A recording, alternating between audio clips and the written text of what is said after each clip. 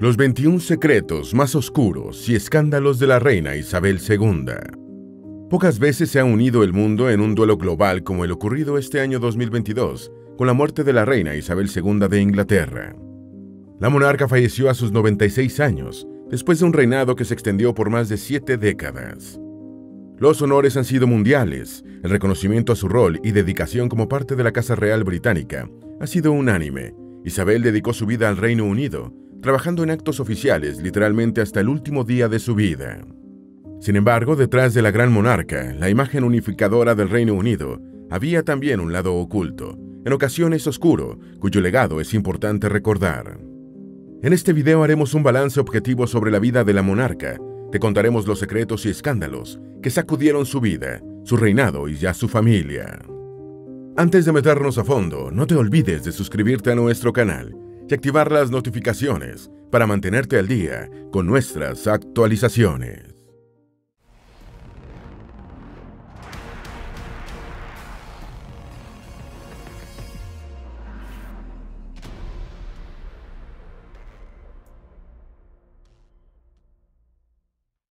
Número 1. Se suponía que no sería reina. Aunque en la actualidad la imagen de Isabel II es prácticamente indivisible de la imagen del Reino Unido, en realidad este no era el destino que le esperaba al nacer. Cuando nació ni siquiera estaba en la primera línea para la sucesión. Pero su vida y su destino cambiaron drásticamente por una decisión externa. El rey Eduardo VIII, su tío, abdicó abruptamente al trono para contraer matrimonio con una plebeya. Este cambio inesperado dejó la corona sobre Jorge VI, quien era el hermano menor del exmonarca y el padre de Isabel. Ella tenía solo 10 años cuando ocurrió el cambio y desde entonces tuvo que empezar su formación. Siendo la hija mayor del nuevo rey, tuvo que aceptar su nuevo futuro, pues no podía escoger. Número 2. No era una madre muy atenta. Gobernar un país no es tarea fácil, pero asumir un reinado a la corta edad de 25 años ciertamente puede ser aún peor. Isabel II ascendió al trono mucho antes de lo esperado, debido a la muerte temprana de su padre.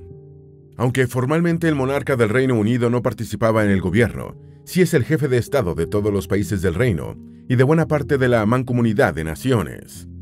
Esto trae consigo una serie de responsabilidades y tareas que, combinadas con un carácter más bien parco, no hicieron de Isabel II una madre particularmente presente en la vida de sus hijos. La educación y cuidado de los tres príncipes y la princesa casi siempre estuvo a cargo de sirvientes, institutrices o internados, aunque en la imagen pública de la familia real siempre destacó la unión, en realidad los hijos no pasaban ni una hora completa al día con sus padres.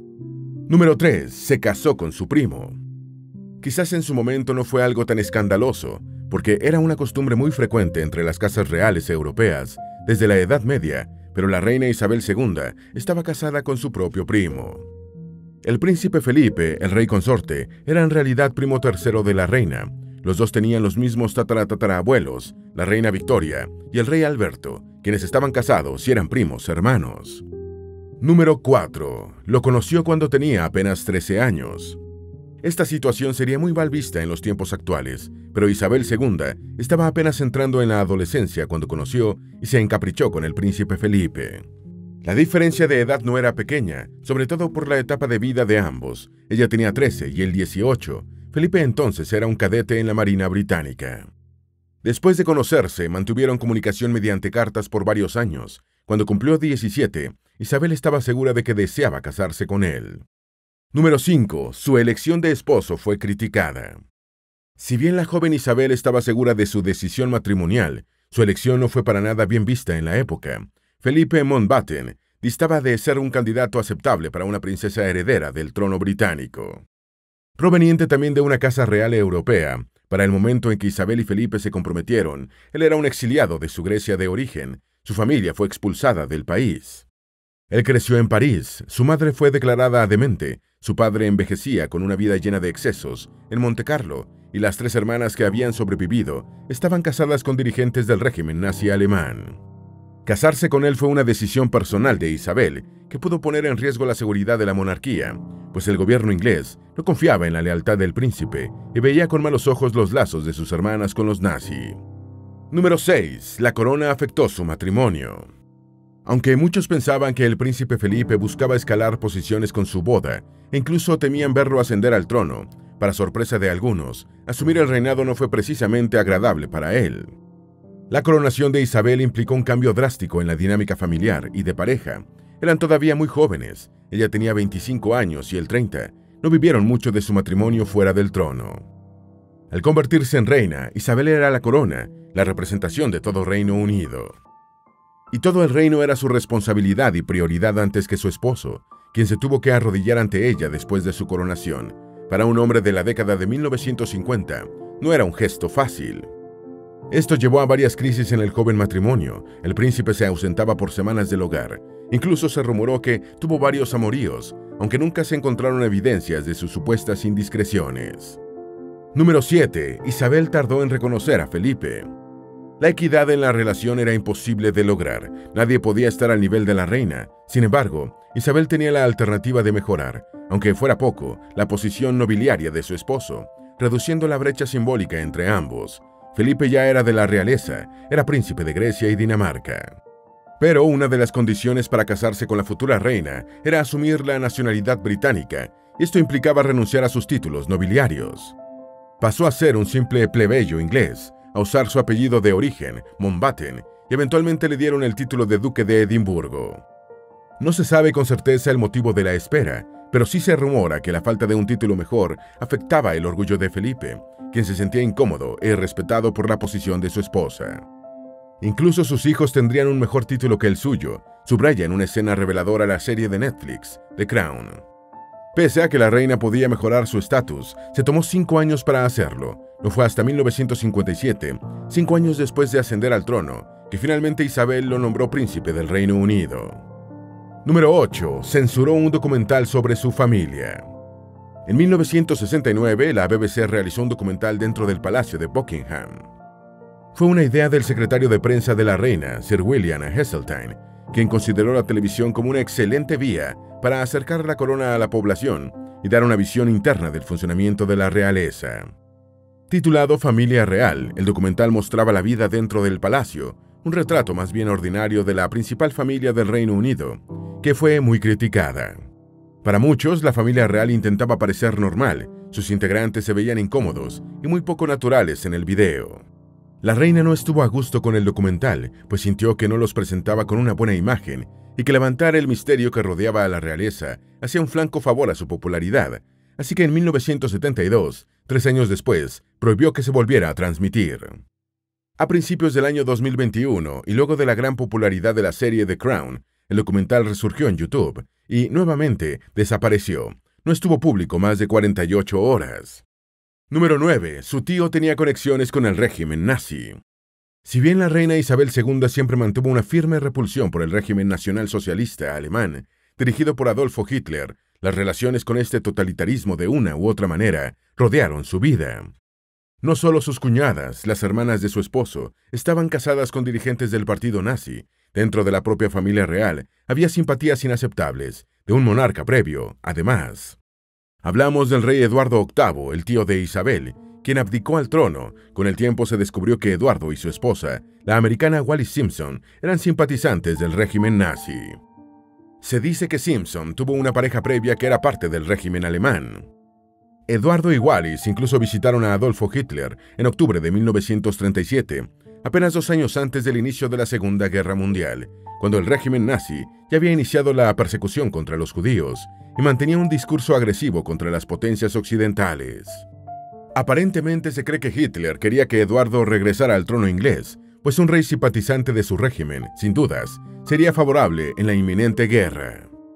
Número 10. No permitió que su hermana se casara por amor.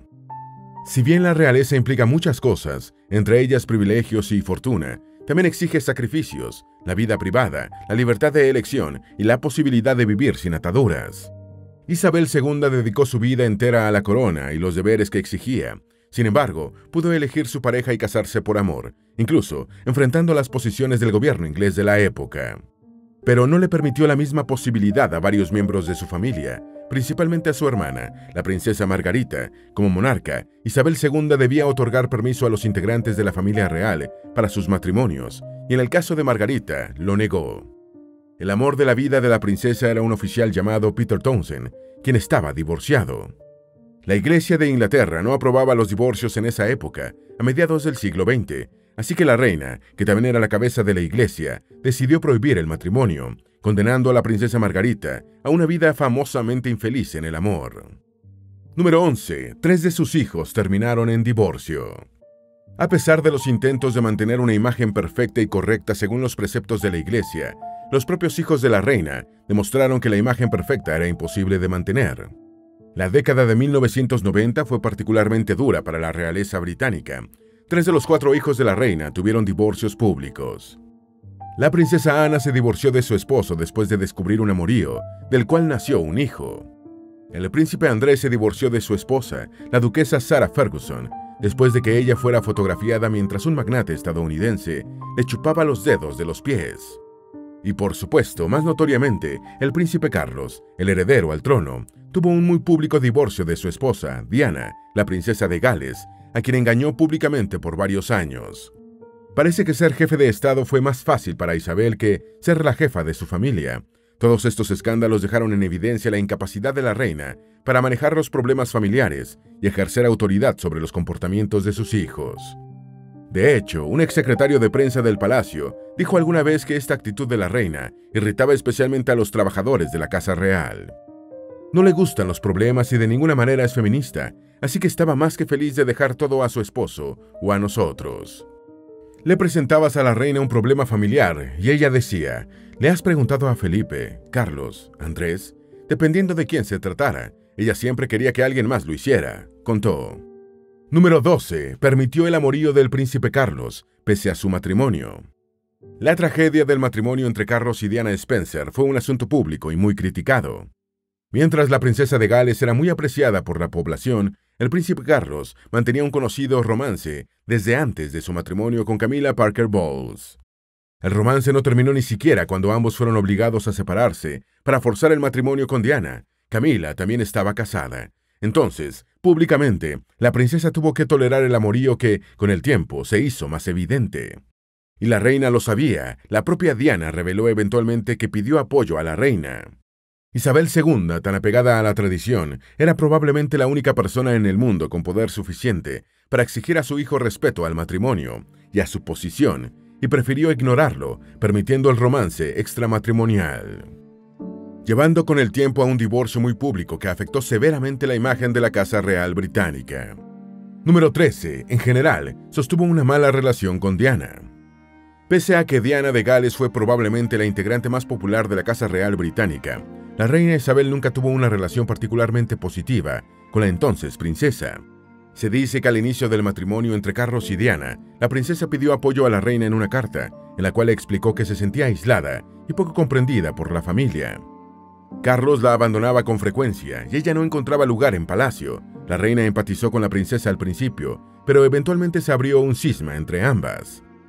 Para empezar, Diana era percibida como una rebelde. En la boda se negó a comprometerse a obedecer a su esposo. Su forma de vestir no siempre iba en consonancia con las elecciones de la reina. Su trabajo de caridad no siempre era bien visto, y además, su extrema popularidad irritaba a la monarca.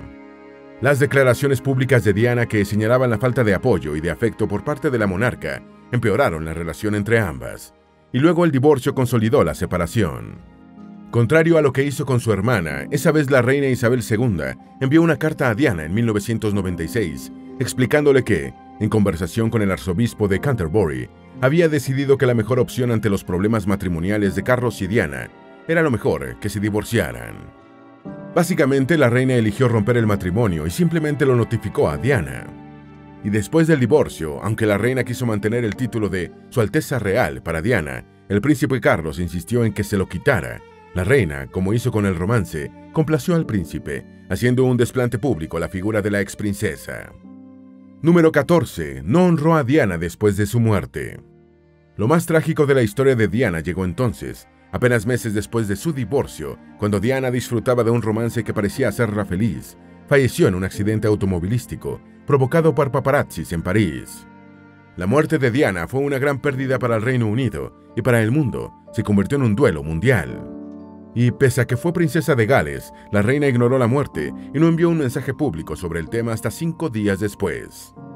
Se dice que la reina consideraba que era una tragedia familiar que debía manejarse en privado, pero la opinión pública lo vio como un gesto de desprecio hacia la princesa. Finalmente, casi una semana después, dio un discurso en video en el cual elogió el valor de la princesa y su dedicación a sus hijos, pero ya era tarde, nadie creyó en su supuesto duelo por Diana. Número 15. Vetó leyes.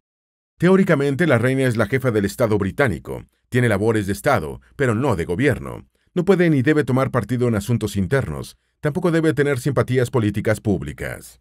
Y aunque Isabel respetó su rol la mayoría de las veces, también abusó de él en algunas oportunidades. De manera secreta, la reina investigó alrededor de mil legislaciones antes de que llegaran a discusión en el Parlamento y vetó alguna de ellas. Esto le permitió, por ejemplo, eximir a la familia real de cumplir las leyes que evitan la discriminación racial y sexual.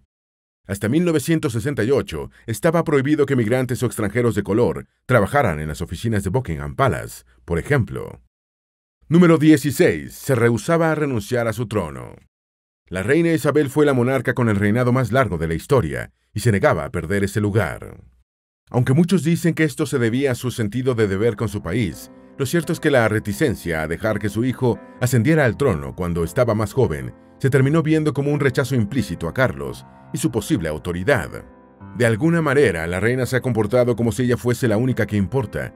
No ha planeado el futuro muy bien. Casi se ve a sí misma como la última soberana. Todo se ha tratado sobre qué le conviene a ella, no qué le conviene a la monarquía a largo plazo, dijo uno de los trabajadores de Carlos alguna vez. Ahora que ha fallecido, Carlos III asume el trono con casi 80 años, lo cual asegura un reinado mucho más corto que el de su madre y muchos cambios en el futuro próximo de la familia real británica. Número 17. La distancia del príncipe Harry y su esposa Meghan. Los últimos años han sido especialmente escandalosos para la realeza británica, principalmente por la decisión del príncipe Harry de abandonar sus roles reales para mudarse con su esposa, la duquesa de Sussex, y actriz estadounidense Meghan Markle, a Estados Unidos. La joven pareja ha reclamado un trato injusto y posiblemente racista por parte de la prensa británica. Han contado sobre racismo dentro de la propia familia real y han reclamado que no fueron defendidos por ella. Aunque la reina no respondió a estos señalamientos y realmente el príncipe no la acusó directamente, lo cierto es que su actitud pública demostró que no había un verdadero apoyo y protección. De hecho, muchos han señalado que Meghan es una nueva Diana para la realeza británica. Número 18. Su tolerancia al grave comportamiento del príncipe Andrés. Probablemente el comportamiento más inaceptable de la reina Isabel II ha sido su tolerancia y protección al príncipe Andrés, el tercero de sus hijos y, supuestamente, su favorito, incluso después de haber sido acusado de violación a menores de edad. Andrés siempre tuvo una vida alocada y una personalidad libertina que reconocía la prensa británica, pero fue su amistad con Jeffrey Epstein acusado por trata de menores y conductas inapropiadas en una isla privada infame, la que terminó de manchar la reputación del príncipe. Andrés fue directamente acusado de violación por una joven, y aunque el caso terminó debido a un acuerdo económico, pocos dudan de su culpabilidad. Pero las primeras acusaciones contra Epstein llegaron en 2011, los señalamientos contra Andrés sonaron en 2015 y Epstein murió en prisión en 2019. Y apenas en 2021, 10 años después de que iniciara el caso, es cuando el príncipe fue oficialmente demandado por su víctima. Entonces, finalmente la Casa Real decidió retirarle el título de Alteza Real y sus conexiones militares. La reina nunca condenó públicamente el caso. Número 19. Las joyas de las colonias. La colección de joyas de la corona incluye el diamante más grande encontrado en la historia, el Cullinan, que pesaba 3.106 quilates antes de ser dividido en nueve diamantes diferentes. El más grande de ellos se encuentra en el cetro de la corona, que se utiliza en ocasiones especiales, como las coronaciones. Aunque la familia real dice que fue un regalo de la colonia británica de Transvaal en 1907, ubicada en la actual Sudáfrica, en realidad líderes comunitarios de ese país afirman que fue robada por la corona y han exigido que sea devuelta a su población. Número 20. Las consecuencias de la colonización. Si bien la reina ha sido reconocida por su rol como jefa de Estado, esto implica también hacerla responsable por las consecuencias de la colonización del Imperio Británico. Así como Isabel vivió y representó al Reino Unido de forma apta ante el mundo, es importante recordar que lo hizo sin jamás asumir responsabilidad de su Estado, ni pedir disculpas por los abusos y atrocidades sufridas por sus colonias, ni por las consecuencias que la colonización dejó en muchos de esos territorios. La esclavitud, el saqueo de riquezas, la imposición de costumbres y el irrespeto de culturas distintas son algunas de las mayores faltas del imperio británico. Y si bien Isabel no tenía verdadero poder ni era responsable real de las decisiones de su gobierno, sí fue representante del Estado, trabajó para mejorar la imagen británica en el mundo y poco hizo para disculparse por la responsabilidad británica en problemas de otros países. Número 21. Dejó un futuro incierto. Al final nadie sabe quién fue la verdadera Isabel II.